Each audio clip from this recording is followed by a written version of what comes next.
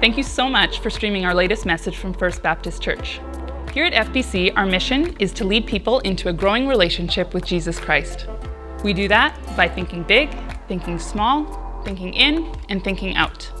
We hope that this message helps you as you continue to grow in your faith.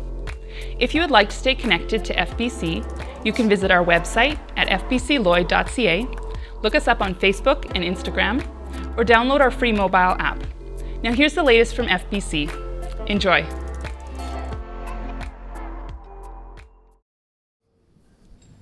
Hey, happy Thanksgiving. Hope that you're all already off to a great start this weekend. Uh, it's fitting, I want to say thank you uh, to a number of you that have been bringing in treats to the office for us as staff. And, and uh, um, you know, there's been baking, which has been really good. It comes with its share of challenges for me. Um, fitting in the suit being one of them.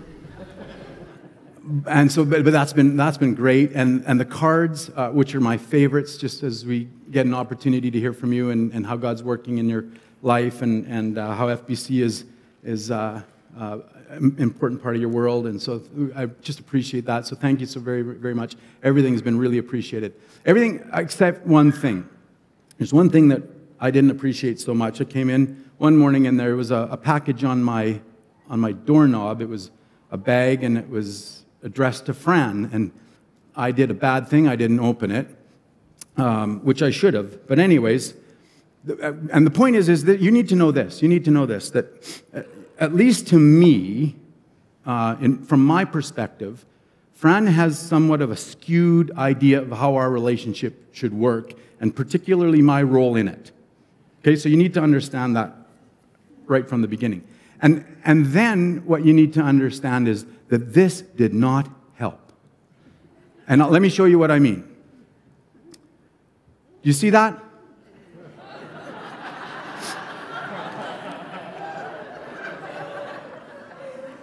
There's a shirt in this bag. It says, Doug is my homeboy. And the problem with it, too, is that it was anonymous. So I'm not sure exactly who I'm speaking to this morning, but you've got to cut that out because frankly, it is not helping. She doesn't need this kind of encouragement. Anyways, but it's Thanksgiving, and so I am working on being thanks, thankful. I am I'm giving thanks. And, and I want you to know that I am taking this very seriously. I am even working on being thankful about Ryan, who callously and patently, patently falsely accuses me of sitting in my office week to week listening to Adele. That's categorically false. And I want you to know that. But I'm working on being thankful about Ryan. I'm thankful, for example, that he's not a twin.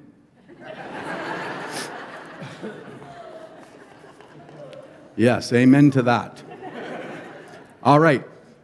Let's pray. And then, like, uh, like we've been talking about, let's, we'll dive into some thoughts on thankfulness. Pray with me. Father, this morning, we stop and we say, Thank you, God, for who you are. Lord, I thank you for this church family, best church family in the world. Thank you that I get to be a part of that. Thank you, Lord, for this time that you've given us here now this morning together. I pray that you would come and that you would speak to us. I thank you for this opportunity to learn from you. Speak into our lives, God, today. Help us to understand you better. Help us to become the people that you call us to be, the people that you've set out for us to be in the world, in the community, in the culture in which we live today. So I pray that you would work to those ends. And I pray these things again in your Son's name for his sake alone. Amen. Okay, well, let me just ask a question. Is it just me, or are you finding that Thanksgiving is becoming more and more of an anomaly? That when we come to this weekend, this Thanksgiving long weekend, that it just seems sort of out of touch, incongruent with the rest of life as we know it. That somehow, more and more, we get to this weekend and we stop what we normally do and remind ourselves to be thankful and try to think of why. It seems to me that's the case. And, and I think that that's the case because more and more I'm finding that we are less and less inclined to be grateful. As people, we tend to complain more and give thanks less, despite all the obvious advantages that we enjoy in this part of the world in which we live, with all of the numerous, many, many blessings that are ours day in and day out. And it's ironic, really, I think, that despite living in the lap of luxury in so many ways, we as a people are becoming less thankful and more and more ungrateful. And it's becoming more and more our habit to look around at life and complain rather than give thanks. I think it's actually really becoming the social norm. I think that complaining has actually even surpassed or supplanted the weather as our go to topic of conversation. It's how we lead in conversations in life so often now. Because it's easy. We dive in and start to complain about things, and everybody identifies and jumps in on that same bandwagon. And away we go. We start conversations with phrases like, Can you believe what's going on down there now? Did you hear what they expect us to do about that?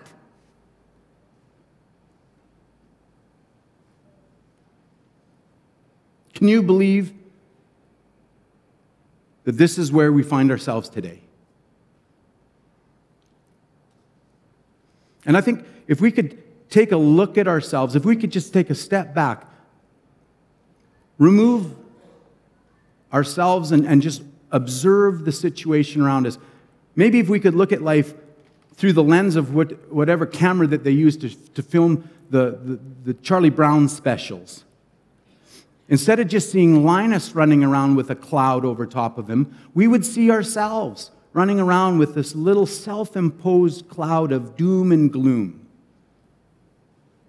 As we go through life, we'd be able to look back and just see that happening.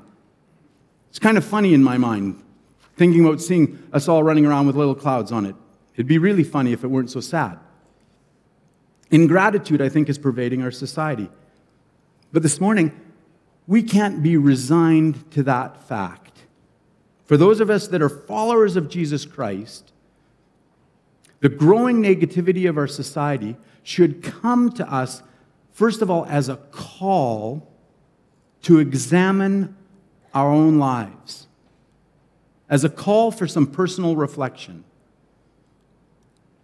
And then, possibly beyond that, as a call to adjustment and action.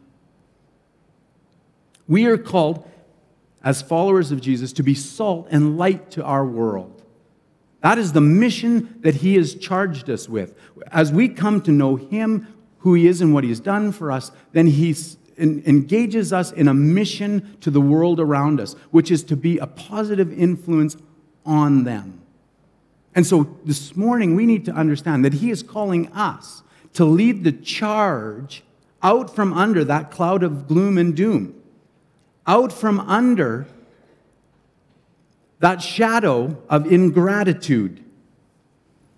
So, to that end, this morning, I want to look at three things for us to consider about thankfulness, which will hopefully then help us to evaluate, adjust, and take action in our own lives as necessary.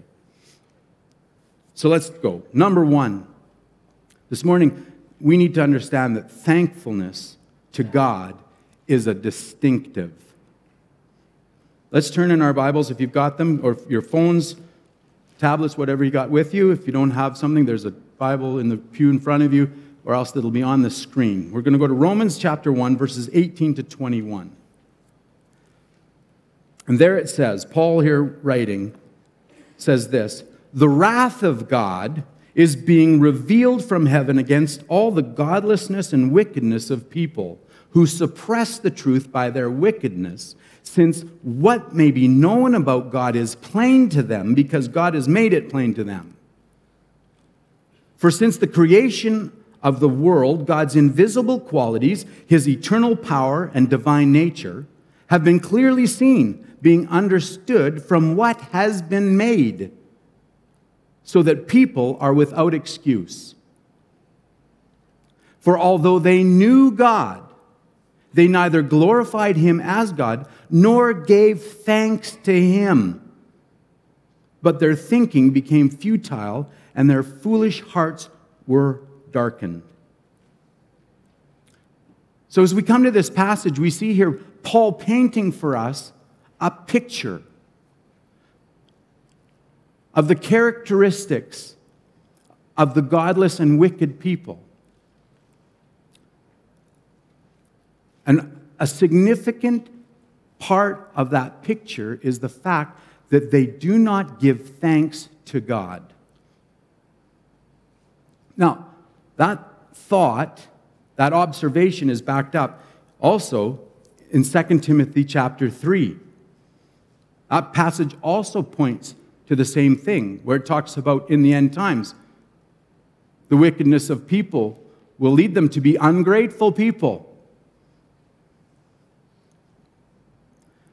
And so I know what I think you're thinking right now. You're looking at me and saying, well, dude, they're not going to give thanks to God because they don't subscribe to God. So why is that a surprise? And you're right, it's not. But this morning, we can't stop there at that part of the observation. We have to push beyond that and draw some conclusions from that, which is to say that we need to understand that if ungratefulness, unthankfulness is a characteristic of the godless and the wicked, then for those of us that follow Christ, a characteristic of ours should be thankfulness and gratefulness to God. That's a, distinctive for us today in our lives. Are we thankful to God?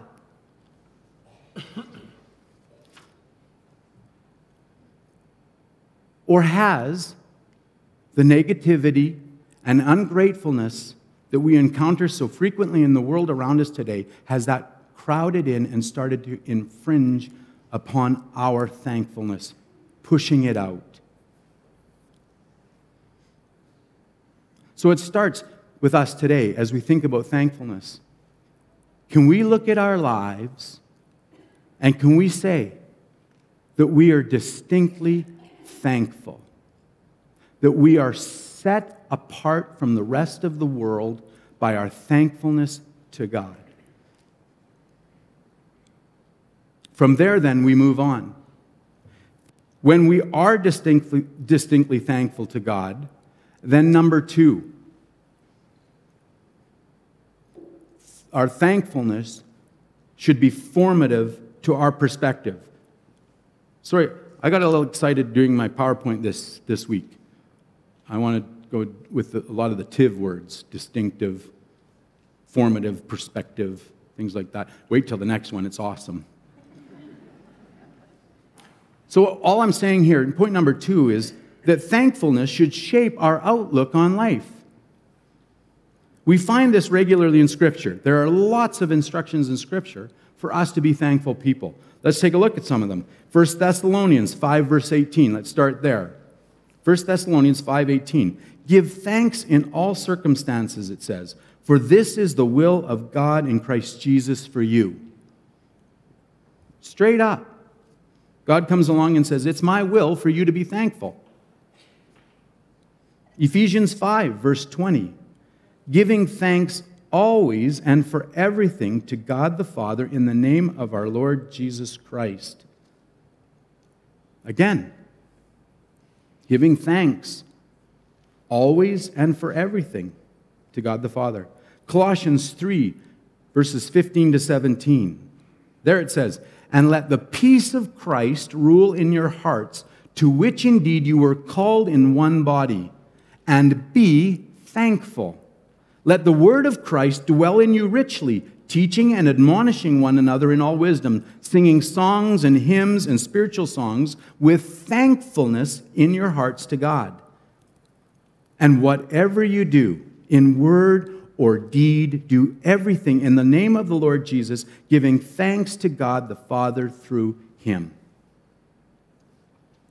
One more Philippians 4, verse 6.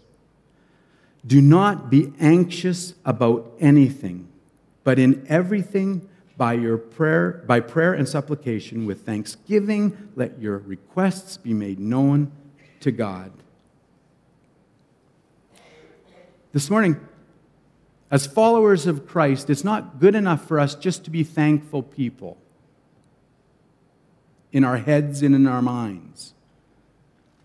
God calls us to take our thankfulness and play it out day to day in our lives. He tells us to go into the circumstances of our lives, whatever they may be, good or bad, and view them through the lens of thankfulness. So that we can then have our thankfulness adjust our perspective on our circumstances rather than having our circumstances dictate back to us about our faith in Christ. So often we get that backwards. We go into the circumstances of our lives, both good or bad, and we allow them to shape our perspective on God. And in so doing, on either side of that, that spectrum, we can get into trouble as we take the good things in our lives and start to build character, the character around, of God around that. Or as we go into the tough things of our lives, the junk that we encounter, that we have to navigate from week to week, day to day, and, and we allow that then to begin to shape our perspective of God and how we approach our lives. God says to us, don't do that. Establish from the outset to be thankful people and then do life accordingly. Now, it's important to note because sometimes I think we tell that to ourselves, right? We tell that to our kids. You just be thankful because God says be thankful. And we don't give them the reason why. And there is a rationale, there is a point a foundation on which we can stand to be thankful people. And that's found, for, for, example, in Psalm 107, verse 1, where it says, Oh, give thanks to the Lord, for he is good, for his steadfast love endures forever. Now, there, there we begin to understand why we do life thankfully. Because, number one, of who God is. He is good. And number two, because his love, because of his love for us, which endures forever. Now, as we consider those points, remember this God does not change, He is unchanging. Therefore, these characteristics of God transcend our circumstances. Again, our circumstances, good or bad, are going to come and they're going to go. They're going to ebb and flow through our lives. And so the mistake that we make is when we, again, use that as the lens to do life. God doesn't change, they do change. Therefore, we come and we understand and we interpret our circumstances through Him who doesn't change, not our circumstances that do. He is always good, and his love endures forever. And therefore, on account of that, we can face whatever we're facing in life. The good times we understand to be because of him, him who is good. The challenging times we understand to be navigable, we understand to be acceptable as much as we don't like them because He is still good and His love endures forever. He's there to help nav- us navigate through them. So, therefore, our thankfulness has to be formative to our perspective in life. And we need to apply that to our lives today and walk according to that as a part of our faith. Thirdly, quickly, when we understand that thankfulness is a distinctive and that it has to shape our perspective, we have to take one step further yet because it is an imperative that our thankfulness be indicative of our faith. I told you it would be good. It's imperative that our thankfulness be indicative of our faith, which is to say, that it is essential that our thankfulness be an indication of who we're thankful to, of our faith in Christ. Let's take a look at Luke chapter 17, verses 11 to 19. We'll see here a story of the ten lepers. Now, on his way to Jerusalem, Jesus traveled along the border between Samaria and Galilee. As he was going into a village, ten men who had leprosy met him. They stood at a distance and called out in a loud voice, Jesus, Master, have pity on us. And when he saw them, he said, Go, show yourselves to the priests. And as they went, they were cleansed. That was, that was something that they were to do in those times. The priest had to sign off on your state of health.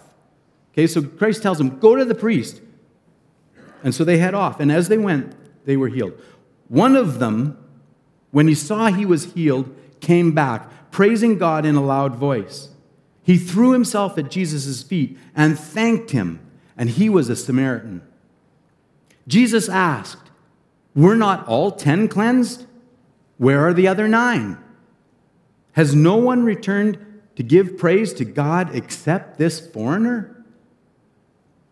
Then he said to him, Rise and go. Your faith has made you well. Another way of saying that is, Your faith has healed you.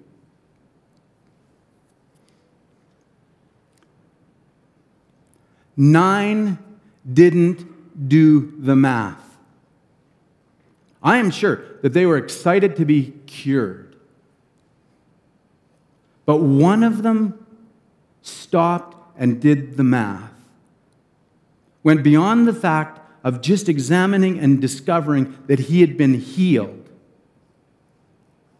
to actually then be able to attribute who he was healed by. That's, that's our requirement today as followers of Christ. It's not good enough for us just to be thankful. We need to be thankful to God and to let that be known and shown to the world around us. It has to be, our thankfulness has to be an indication of our faith in God. Why does it have to be an indication of our faith in God? Well, secondly, it has to be an indication of our faith in God because our thankfulness is a fundamental part of our testimony to the world around us. When we live thankful lives and ascribe the credit for all that's good in our lives to God, we point people to Him. In the middle of an ungrateful, unthankful world, as we live thankful lives, we will stand out like a sore thumb. As we point to things that are good in life, have those shape our perspective, and share those with the world around us, we will be singing a different tune. And mark my words, that will engage people with you. What's up with that? And so, as we do it, then we earn an opportunity. God will come alongside and He will open somebody's eyes to the question of why. Why are you thankful? And at that point, we can share Christ with them. That's the second reason that our thankfulness should be indicative. The first reason, the number one reason why our thankfulness should be an indication of our faith in Christ is because He is worthy of our thankfulness. Romans 11, verse 36 says, For from him and by him and for him are all things.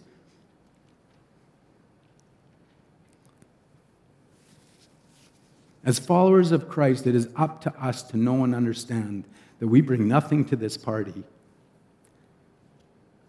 That this is all about Christ, all about what he has done. Everything starts and stops with Him. In and of ourselves, we deserve nothing. And it's, it's just not about us. We deserve nothing. Nothing, that is, except death. Because the wages of our sin is death. But the gift of God is eternal life through Christ.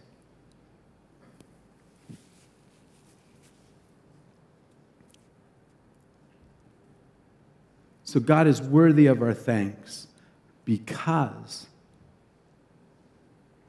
in the, while we were yet sinners, Christ died for us.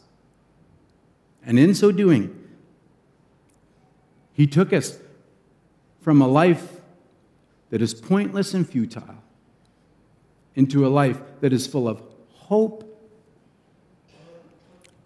and gratitude because it's completely different.